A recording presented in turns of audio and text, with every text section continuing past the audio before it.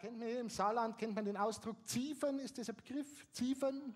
Nein, also frei übersetzt kann man sagen, Ziefern ist Zicke. Also man sagt Zicke, Ziefern, Ziefern, Zicke, Zicke, meist blond. Na, wobei, es gibt auch dunkle Ziefern. Sogenannte Dunkelziefern. Wie mir mal beim Skifahren waren, schaut mich ein Ziefern schief an, dann ist sie an eine Kiefer gefahren, zerbrach sich ihren Kiefer dran. Schon blöd, wenn man nicht Skifahren kann.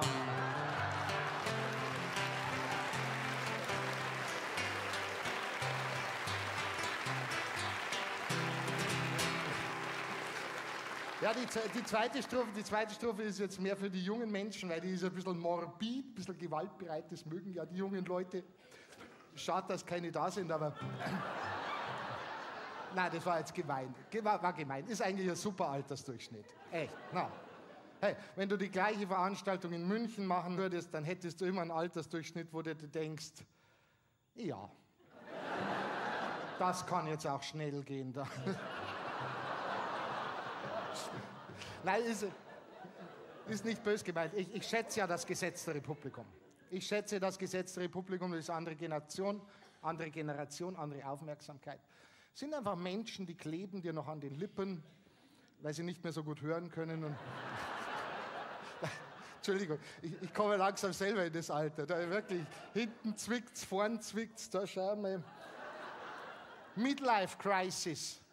Das Haar wird dünn, das Haar wird weiß. Hurra, ich bin ein Midlife-Kreis. Machen wir zweite Strophe.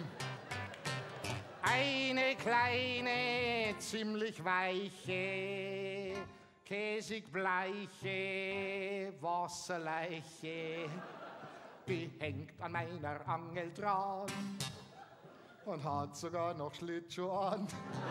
Ja toll, was man nicht alles angeln kann. Vielen Dank.